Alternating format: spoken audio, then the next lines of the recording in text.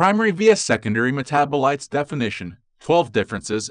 Examples Primary metabolites definition Primary metabolites are the compounds that are directly involved in the metabolic pathways of an organism necessary for its growth, development, and reproduction. These metabolites are associated with the physiological processes occurring in the organism. Primary metabolites are produced in the organism during the growth phase.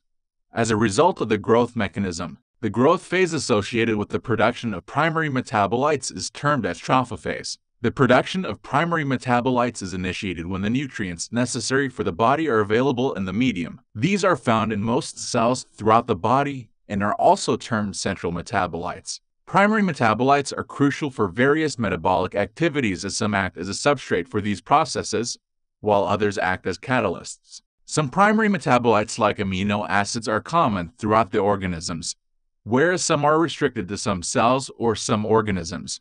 Even though primary metabolites play an essential role in the growth and development of an individual, these do not have pharmacological actions or effects against other factors. The production of primary metabolites usually occurs at a high rate. As these are constantly required, these can also be extracted easily through simple extraction procedures. Primary metabolites are divided into two groups, primary essential metabolites, and primary metabolic end products. Primary essential metabolites include compounds like proteins and carbohydrates that make up the structural and physiological organization of the organism. In contrast, primary metabolic end products include products like lactic acid and ethanol that are the end products of various metabolic pathways. Examples of primary metabolites include proteins, enzymes, carbohydrates, lipids, vitamins, ethanol, lactic acid, butanol, etc. Secondary metabolites definition. Secondary metabolites are the organic compounds that are produced by various organisms that are not directly involved in the growth, development, or reproduction of the organism but are essential in the ecological other activities. Secondary metabolites are also termed specialized metabolites or natural because secondary metabolites are not involved in the growth and development of the organism, the absence of these compounds causes little to no effect on the survivability of the organism. However, in the long run, some mild effects might be observed. Some secondary metabolites are specific to a species and are only found in them. But the horizontal transfer of these metabolites across species has seen to play an important role in the evolution of some organisms. Although they are not important for survival, secondary metabolites might be important for other activities like protection, competition, and species interaction. Secondary metabolites are classified into groups based on their biosynthetic origin. Some of the secondary metabolites are derived forms of primary metabolites. These are also formed during the stationary phase of growth in most organisms. This phase of growth is termed phase. Most secondary metabolites tend to act as a defense mechanism against various foreign invaders. These are produced in rather smaller quantities and are difficult to extract. Secondary metabolites are also not a part of the molecular organization of the organism. Some categories of secondary metabolites have been used in various biotechnological procedures for the formation of drugs and other compounds. Since secondary metabolites are specific to species, Different secondary metabolites are involved in various procedures. Some examples of secondary metabolites include steroids, essential oils, phenolics, alkaloids, pigments, antibiotics, etc. Niche primary metabolites are the compounds that are directly involved in the metabolic pathways of an organism necessary for its growth, development, and reproduction. Secondary metabolites are the organic compounds that are produced by various organisms that are not directly involved in the growth, development, or reproduction of the organism but are essential in the ecological and other activities. Also termed primary metabolites are also termed as central metabolites. Secondary metabolites are also termed as specialized metabolites. Growth phase primary metabolites are produced during the growth phase of the organism. Secondary metabolites are produced during the stationary phase of the organism. This phase of growth is also termed as trophophase. This phase of growth is also termed as idiophase. Quantity primary metabolites are produced in large quantities. Secondary metabolites are produced in small quantities. Extraction It is easier to extract primary metabolites. It is difficult to extract secondary metabolites. Specificity Primary metabolites are not species specific and thus might be identical in some organisms. Secondary metabolites are species specific and thus are different in different organisms.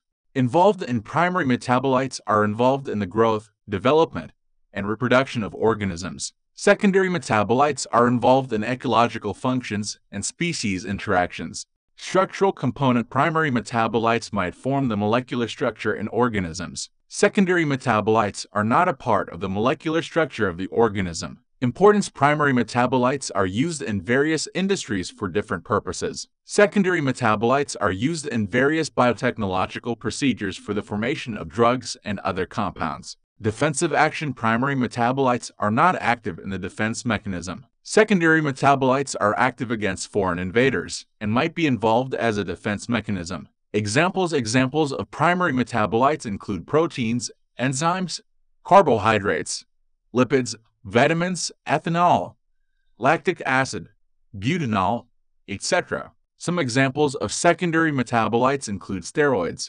essential oils, phenolics, alkaloids, pigments, antibiotics, etc. Examples of primary metabolites enzymes. Enzymes are proteins that are produced in the body of different organisms as primary metabolites. Enzymes are important compounds that catalyze various metabolic pathways throughout the body. Enzymes are proteins formed of polypeptide chains of amino acids that are highly specific for the reaction they catalyze. In the absence of enzymes, the biological reactions would require a long period of time to complete.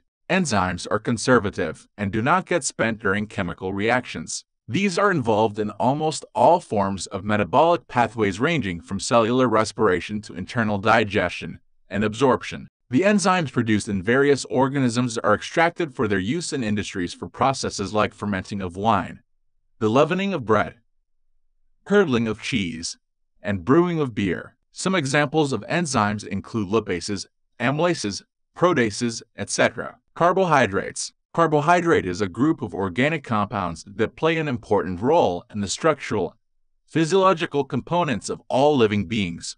Carbohydrates are among the most important primary metabolites that are common in all living organisms. A carbohydrate is a biomolecule formed of carbon, hydrogen, and oxygen. These provide structure to organisms like cellulose in plants and peptidoglycan in bacteria. Besides, these are also compounds that are oxidized to obtain energy for the growth and functioning of the organism. Carbohydrates are of various types depending on their length and composition. They are also divided based on their functions. Carbohydrates act as substrates for the important biological processes like Krebs cycle and glycolysis.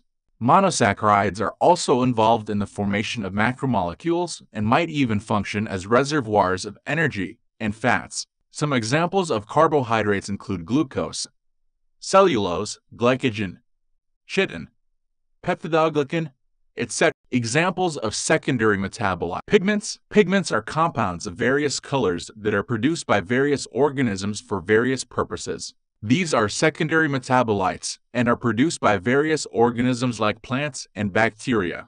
Plant pigments like chlorophyll are essential for processes like photosynthesis whereas bacterial pigments can be extracted to be used in industries as dyes. Pigments are mostly non-toxic and might even have medicinal importance to be used as antioxidants and additives. Bacterial pigments produced for industrial purposes by microbial fermentation has several advantages, such as cheaper production, easier extraction, higher yields through strain improvement, no lack of raw materials, and no seasonal Biopigments produced from microorganisms are preferred over those from plants because of their stability and availability for cultivation throughout the year. Examples of these pigments include chlorophyll, astaxanthin, zeaxanthin, indigoidine, rhodopsin, etc. Flavonoids. Flavonoids are secondary metabolites in plants that are found in all fruits and vegetables. Flavonoids are phytonutrients, meaning plant chemical that also provides some coloration to many plants and animals. These are the largest groups of phytonutrients found in plants with more than 6,000 types known. These compounds have important antioxidants with anti inflammatory and immune system benefits. They also have antimicrobials, photoreceptors, visual attractors, feeding repellents, and for light screening functions. Flavonoids are known to control the development of individual organs and the whole plant, and, hence, contribute to stress-induced morphogenic responses of plants. Flavonoids may play critical roles as signaling molecules in mammals through their ability to interact with a wide range of protein kinases. Some examples of flavonoids found in various vascular plants include apigenin, luteolin, hesperetin, genistein, etc.